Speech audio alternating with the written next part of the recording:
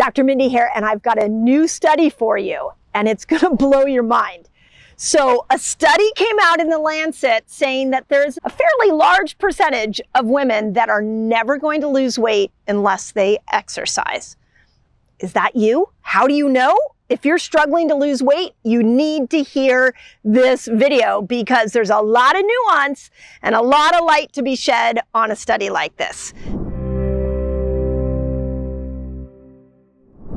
So for those of you that are new to my channel, I just want to say welcome. I'm on a mission to change the world's health, especially women. I want to empower you all to take back control of your health. And many of the videos I do here are free resources and ways that you can start to lose weight. You can get your mental clarity back. You can balance your hormones without ever spending a dime. So I'm super excited you're here. And if you're new, just hit the subscribe button and the notification bell and dive on in. There's over a thousand videos now on my channel. So I'm excited to share this one with you. Okay, the Lancet. The Lancet is a big journal, y'all. This is not like a small study. So when something comes out in the Lancet, most doctors are gonna listen. So this study was really, really interesting because what it showed was that there are there's a group of women and they're never going to lose weight unless they exercise and that's about 20% of us which is actually a fairly high amount. And so these women what they've done is tried every diet. They've tried fasting. They've tried everything possible to be able to lose weight and nothing worked until they threw exercise at it so when I dove into the study and started to look at the mechanism of why this group of women, why exercise works so well, it all came down to one key part of our cells called our mitochondria. That what these women were lacking is healthy mitochondria. And so when they tried to change their food, when they tried to fast, and there's some nuance here with fast I want to talk about, but when they tried to diet, that was what the Lancet study showed is when they tried to diet, they got nothing. How many? Put it in the comments. How many of us have had nothing happen when we diet? So when they threw exercise at it, now these women started to lose weight. It would be very easy to look at a study like this and go, well, that's calorie in, calorie out. So that makes perfect sense. But that's not what happened. What happened is when they started to exercise, they strengthened and healed their mitochondria. Here's what you need to know about the mitochondria. You have trillions of cells in your body, and each cell is packed with multiple mitochondria. Certain parts of the body have more mitochondria than others. And these mitochondria are energy producers. They are the metabolizers of the body. They make ATP, they make glutathione to detoxify you. They start to turn on autophagy when you're fasting. And when they are sick, the cells become sick. And when cells are sick, you don't release weight. So when I looked at this study, I realized that actually we could all benefit from the knowledge that this study provides us, but here's a simple way to interpret it. If you're not losing weight with dieting, let's throw some mitochondrial re-energizers in there. And when we look at exercise, there's one really key mitochondrial re-energizer, and that's HIIT training.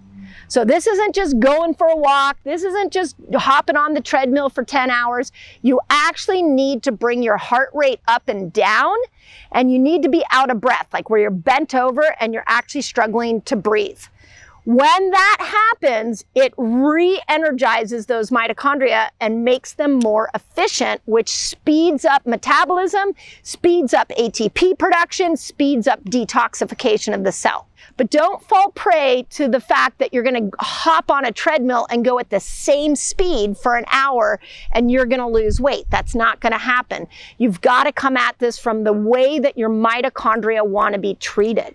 So HIIT training, heart rate up and down. We do this in my academy every Saturday morning. I gather my academy members and we do HIIT training, then we do a coffee chat. And I love it because it is the best, most time efficient way to exercise.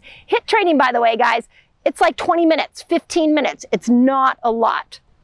So if you're struggling with diet to be the solution, let's start with HIIT training. Okay, check this out. I have a free fasting guide for you all. It's free. and it's going to teach you all the basics of fasting. It's going to teach you how to kill hunger when you fast, which is really cool. And it's going to show you how to break your fast, among many other things. All you got to do is click on the link below and enjoy.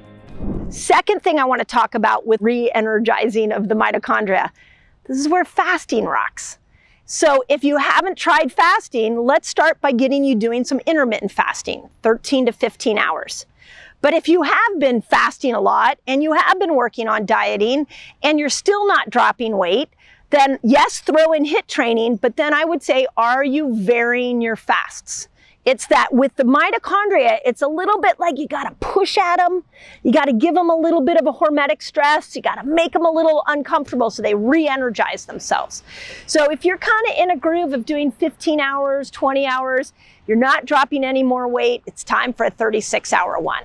So remember, it's the in and out. So make sure that you're pushing your fast long enough. If you're like, I'm dieting and I am like fasting 72 hours every month and I'm still not dropping weight, you may be one of those people that needs to stop fasting for a while and then go back in to pushing your fast. So remember the body's smart. It gets complacent. It gets comfortable. And when it's comfortable, it doesn't drop weight. So we've got to add some kind of hormetic stress in there to re-energize those mitochondria. So first thing is we're going to look at HIIT training. If you want to drop more weight, do a 15, 20 minute HIIT workout. Make sure you're getting that heart rate up and down. Second thing, let's make sure that we're fasting. And if you've been comfortable with your fasting, it's time to push your fast. Third thing that I'll say that your mitochondria love and I did a whole video on this. So go, go watch that video.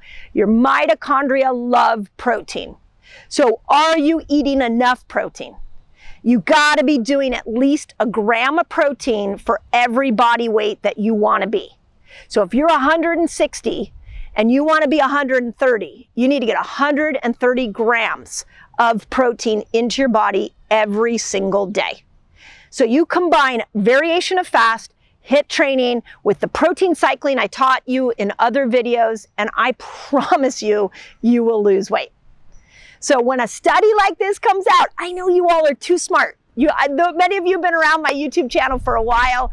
I know that you don't fall prey to the headlines, but this headline's going to come out and the whole world's going to be like, whoa, I guess I'm only supposed to, I need to exercise to lose weight. So there is some truth to that. But let's make sure you're doing the proper exercise, combining that with fasting, combining with that with protein, and poof, you're going to start to drop weight.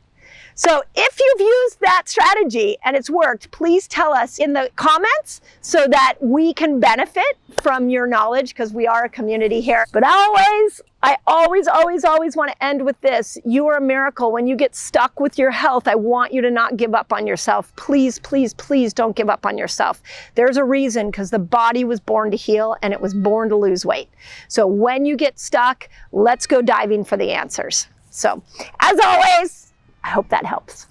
Okay, are you fasting and you're still not losing weight? Check out this video because you might be missing a key part of your fasting experience that's gonna unlock weight loss. So if you think about it, all the humans that emerged out of that time have the gene that allows us to go without food. And that gene they believe is in all of us today.